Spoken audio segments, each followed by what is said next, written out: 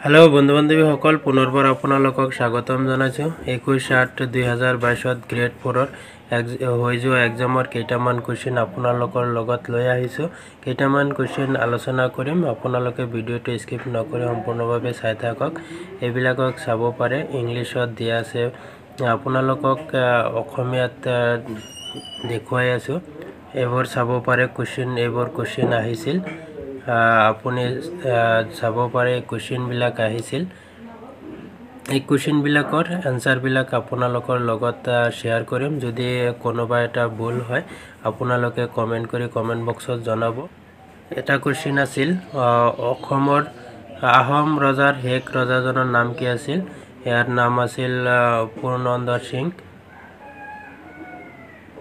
তাৰপিছত আছিল ও মোৰ আপোনাৰ দেশ কোনটো আলোচনীত প্ৰকাশ পাইছিল এইটো বাঢ়ি তিনি নম্বৰত কনকলতা কোনটো আন্দোলনত মৃত্যু হৈছিল ভাৰত ত্যাগ আন্দোলন কুইট ইণ্ডিয়া মুভমেণ্ট তাৰপিছত ভাৰতৰ প্ৰথম মহাকাশচাৰীজন কোন আছিল ৰাকেশ শৰ্মা।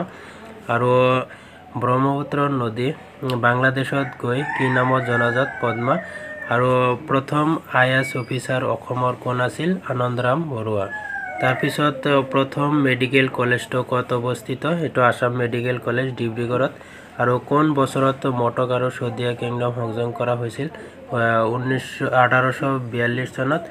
আৰু প্ৰথমতে বস্তুৰ কি দৰে আদান প্ৰদান কৰা হৈছিল এইটো বিনিময় প্ৰথা।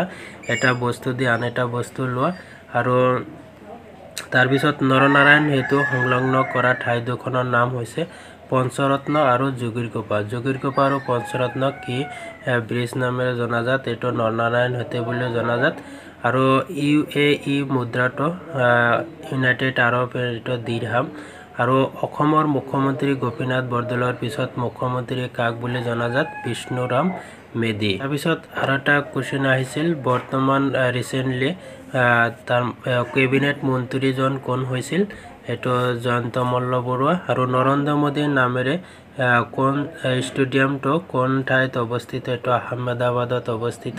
তাৰপিছত ভাৰতৰ ৰংগিল টিভি কিমান চনৰ পৰা প্ৰকাশ পাইছিল এইটো ঊনৈছশ বিৰাশী চনত।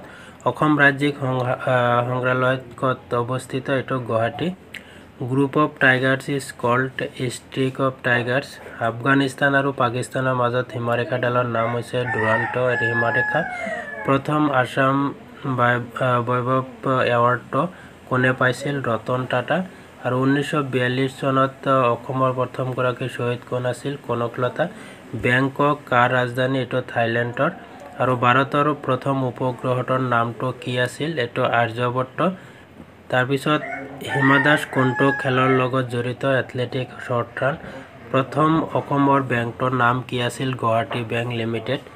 আৰু কোনখন খেলত বল ব্যৱহাৰ কৰা নহয় এইটো বেডমিণ্টনত বল ব্যৱহাৰ কৰা নহয়। আৰু ফ'ৰ্থ মে' তাৰিখে কি দিৱস হিচাপে পালন কৰা হয় এইটো ইণ্টাৰনেশ্যনেল ফায়াৰ ফাইটাৰ্ছ ডে' হিচাপে। আৰু অসমত কোনগৰাকী খেলুৱৈৰ কাৰণে ক্ৰীড়া দিৱস হিচাপে পালন কৰা হয় বগেশ্বৰ বৰুৱা। আৰু কোনখন গাড়ীৰ পৰা টল গেটত পইচা নলয় এইটো এম্বুলেঞ্চ এম্বুলেঞ্চৰ পৰা আপোনাৰ টল গেটত কোনো ধৰণৰ পইচা লোৱা নহয়। তাৰপিছত বাংলাদেশৰ মুদ্ৰাক কি বুলি জনা যায় কি বুলি কোৱা হয় এইটো টাকা ভিক্টোৰিয়া স্মাৰক অৱস্থান ক'ত কোন জেগাত কোন ঠাইত অৱস্থিত এইটো কলকাতা আৰু কোনটো আৰ্টিকল শিক্ষাৰ অধিকাৰত আছে এইটো আৰ্টিকল টুৱেণ্টি ওৱান এ আৰু বান থিয়েটাৰখন কোনখন জিলাত অৱস্থিত এইটো তেজপুৰ ঊনৈছশ ছয় চনত হৈছে তাৰপিছত অসম অৰুণাচল অৰুণাচলক সংযোগ কৰাৰ গাঁওখন হ'ল দিৰাক দলাত আছে। আৰু প্ৰথম অসমীয়া চনেট কোনখন মেগাজিনত প্ৰকাশ পাইছিল এইটো জনাকী প্ৰথম ৰংগমঞ্চ ক'ত অৱস্থিত? তেজপুৰত আছিল। তাৰপিছত আপোনাৰ চাণক্য কোন ৰজাৰ ৰাজ্যসভাৰ কবি আছিল? এইটো চন্দ্ৰগুপ্তা। শিং ক'ৰ পৰা বেছিকৈ লোৱা অনা হয়? আপোনাৰ এইটো ইৰাণ আৰু আফগানিস্তানৰ পৰা বেছিকৈ অনা হয়। ইবন বৰ্তো কোন ৰজাৰ দিনত ভাৰতলৈ আহিছিল? Muhammad bin Tughlaq. North east police academy N E P A কোনখন ৰাজ্যত অৱস্থিত? এইটো মেঘালয় ৰাজ্যত। আপোনালোকে যদি পাৰে এইকেইটা কুৱেশ্যনৰ আপোনালোকে কমেণ্ট কৰি জনাব আনচাৰকেইটা আপুনি কেইটামান কুৱেশ্যন আপুনি কমেণ্ট কৰি জনাব। আপোনাৰ এইটো চিম্প্লিফাই কৰি জনাব আনচাৰটো কিমান পাইছে।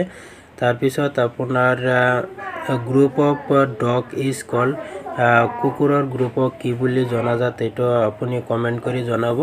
আৰু ফাইণ্ড ইনকাৰেণ্ট পেয়াৰ আৰু ইয়াৰ পৰা ইনকাৰেণ্ট পেয়াৰটো কোনটো আছিল hydrosphere water biosphere environment atmosphere air আৰু লিথস্ফিয়াৰ লেণ্ড কোনটো আছিল আপুনি কমেণ্ট কৰি জনাব।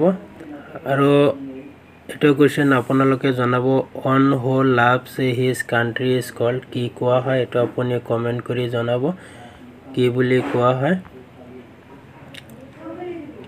আৰু এটা question capital of Zimbabwe capital of জিম্বাবুৰ কেপিটেলটো কোনটো আছিল? আপুনি কমেণ্ট কৰি কমেণ্টত জনাব। থেংক ইউ আৰু ভিডিঅ'টো ভাল লাগিলে আপোনাৰ বন্ধু বান্ধৱীলৈ শ্বেয়াৰ কৰি দিব যাতে সকলোৱে এনেকৈ ভিডিঅ'টো চাব পাৰে। আৰু আপোনালোকে আঠাইছ তাৰিখত হ'বলগীয়া এক্সামৰ কাৰণে প্ৰিপাৰেশ্যন কৰি থাকক। আৰু কোনটো কোনটো বিষয়ত কুৱেশ্যনবিলাক বেছি আহিছিল নেক্সট ভিডিঅ'ত আপোনালোকক দেখুৱাই দিম। Thank U